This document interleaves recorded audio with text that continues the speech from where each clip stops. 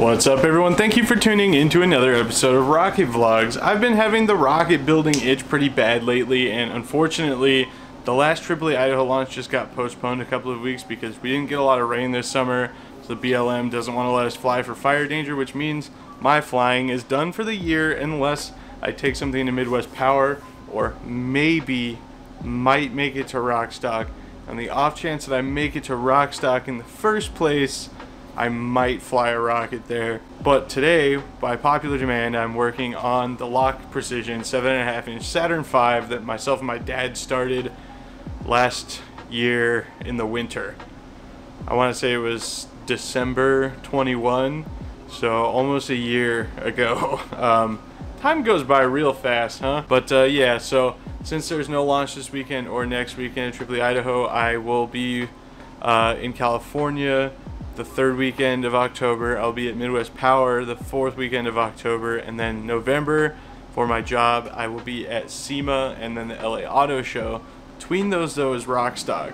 So I might see about going down to the LA area early and uh, going to ROCStock, potentially flying a rocket, like I said. But if you don't know what I do for a living, please check out Motor Biscuit on YouTube. I'll put the link in the description. You can click the top corner. Um, I even used the 7.5 inch Honest John kit in one of my videos when I was driving a brand new C8 Corvette and I jokingly tried to fit it in the car, which very obviously wouldn't. I am the social media manager. A lot of you guys know that I used to write for them, but I am now full-time working on social media stuff, which means I'm producing video and photo content for Instagram and YouTube. It is my dream job. It's absolutely insane, and uh, I would love for you guys to go check it out. If you love cars, you'll probably love all the stuff we're doing over there at Motor Biscuit, so please go check that out. At any rate, I'm going to pull a Saturn V out and we're going to start doing fillets on it, uh, which is going to be interesting because the fillets don't need to look that pretty because they get covered with fiberglass.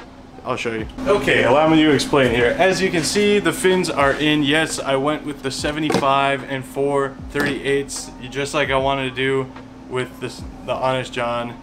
Um, yes, I know that I messed up and I should have done 554s just for authenticity really if nothing else.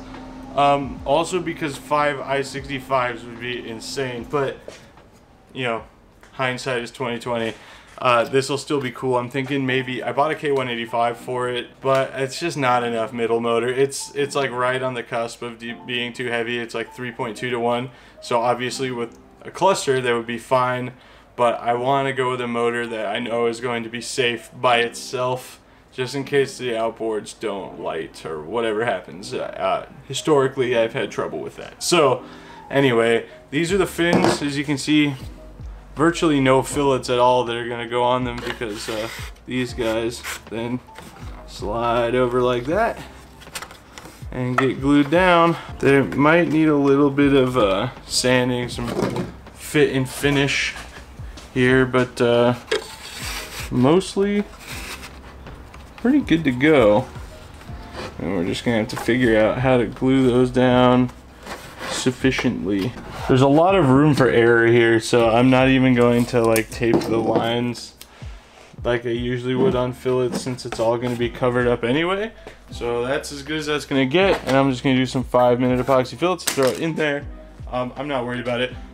I saw one of these standard build no glass uh, surviving L1000 at Airfest or LDRS a couple years ago. I can't remember for sure, but uh, Jason from LOC Precision, or it might have been Eric, Eric Kaneberg, I can't remember. Somebody put an L1000 and it was fine, so I am not worried. Um, if I was going to do like an M1297 or something, might be cause for concern, but I think we're going to be okay.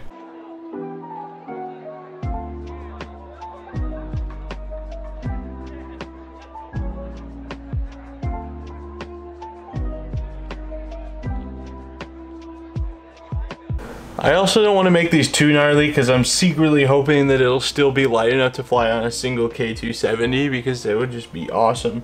Maybe a couple H45s in there just for good measure. But yeah, that'll do. So now, how do we kill this five minutes?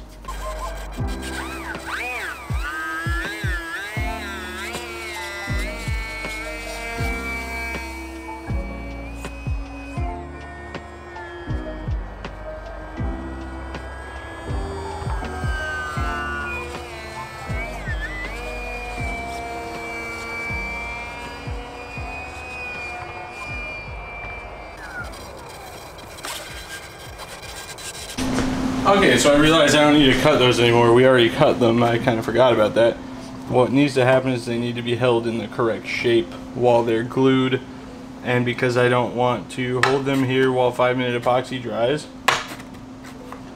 I'm just going to uh, come back with some CA at some point. And um, we can get it all tacked in place and then maybe do some fillets on the inside hopefully keep them from breaking off on landing. Alright, welcome to the new and improved rocket working area at my parents' garage. You probably can't see me very well, but I cleaned a whole bunch of stuff up. That's why that camera can be there now, because there's not a wall of boxes anymore. And uh, yeah, made a lot of good progress on cleaning this garage up. Um, so now certain commenters can shut the I also got this neat little shelving unit to keep things a little better organized and don't have to keep all the motors in boxes. Nothing quite reminds you of how many high power motors you didn't fly this season quite like all the high power motors you didn't fly this season. But anyway, we're going to attach these awesome fiberglass, uh, I guess engine cowls um, with some CA on the old Lock Saturn 5.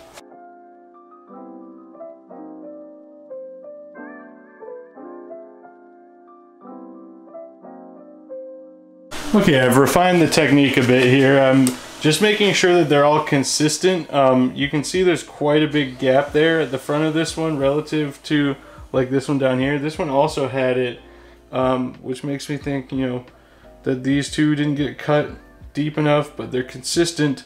So I don't know, it might have just been molding or, you know, you can't expect everything to be perfect all the time.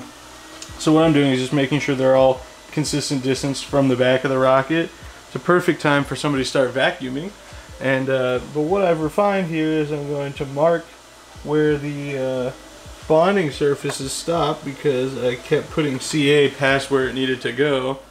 And then what I've been doing, as you can see from this one, if you can see it, is I get the CA drying and then I pull everything into place and I tape it in place. And then I just let it sit for about 15 minutes last time. It was a long time for CA to dry. And uh, I kind of poured some uh, faux-ish CA fillets down on these bottom ones, but I'm not going to do that again. Instead, what I'm going to do is let all this CA tack up properly, and then we're going to come back and do some five-minute fillets in around everything on the inside, uh, especially where the molding or the cowl bonds to the airframe. And then then we just have to do some refining, sanding, get all this extra adhesive off everything, and it's really, it's time to start painting it.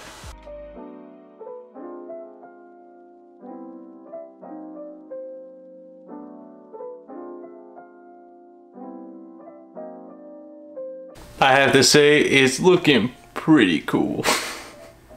I love this thing. I'm so excited I got a chance to buy one. Um, it was a lot of money, especially when I didn't have very much of it, but made the right call.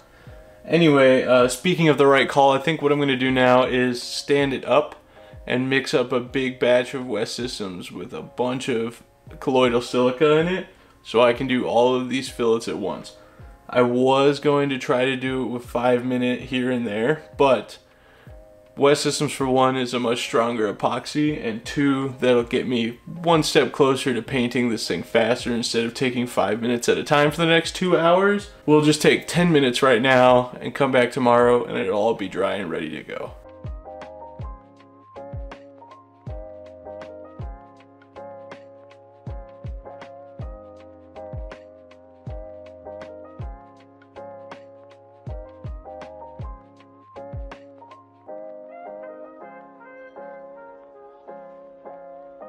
Again, not beautiful, but it's going to do what we need it to do. And we're back. Obviously, with it now standing at its proper height and supporting itself on those engine molding or cowl pieces, whatever, I had to stack it all up because look at it. It's a seven foot tall Saturn V. This thing is sick. This is the first time I've seen it like properly assembled. We put it together and kind of hovered those in roughly the right place, but this is the first time everything's glued together. So, um, I wish I could say we going to start painting it and that's kind of the next step, but we still have some issues to situate with those cowls. Let me explain. Now you'll probably recall because you just saw it that uh, I slid these on and that left these little gaps in the back here but believe it or not the real Saturn V doesn't have that and uh, as much as this is a sports scale model it's gonna bother me a lot if I don't cover those up. Luckily as we learned with the 12 inch Punisher no rocket is too big to make use of some good old popsicle sticks. So what we're gonna do is CA tack these in place and then we're going to fill that gap with uh, some more West Systems epoxy with thickened thickened with colloidal silica. And above all else, this rocket is a tough one for me to remember. It's okay if it's not perfect. It's okay if it's not perfect. It's freaking me out a little bit. But it's not like I could order parts to try again anyway. So uh, what this is is going to be a great exercise in fixing things that we've done wrong once again. I mean, I, I guess it's it's as good as I could get it without spending a ridiculous amount of time trying to get it to just cooperate. So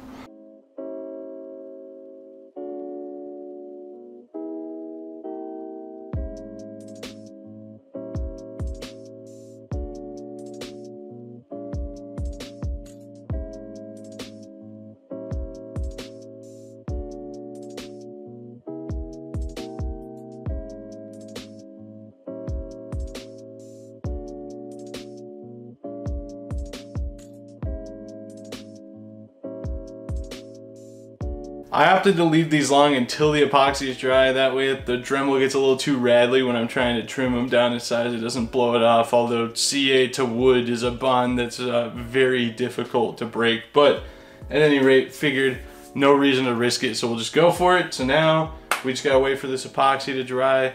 And then, uh, yeah, then we can refine everything, smooth everything out. This should sand pretty easily because I made it so thick. There's a lot of silica in there clean everything up, sand everything smooth, and then we should be able to start throwing primer at it.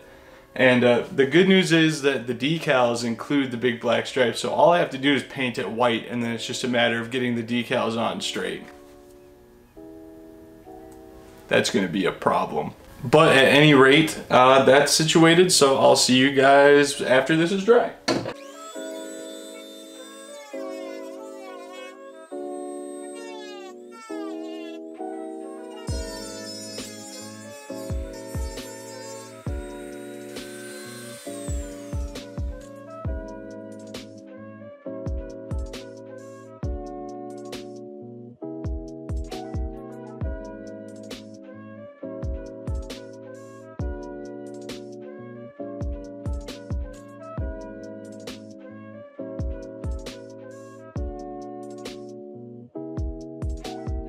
All right, ladies and gentlemen, that is going to do it for this episode of Rocket Vlogs. As you can see, there's going to be a good bit more sanding and filling than I initially anticipated with this guy.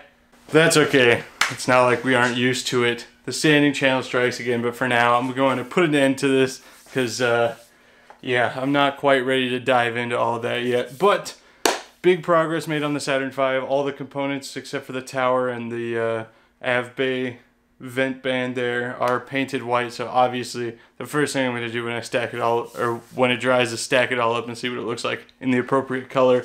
But uh, yeah I'll probably go grab some filler primer and see how much more damage we can undo with that and then a good couple wet sand will really give us an idea of how much we need to do. But of course wet sanding Got to be a little bit careful with this rocket because it is a cardboard kit. I can't just go gung-ho and dunk it in water like I do with fiberglass ones.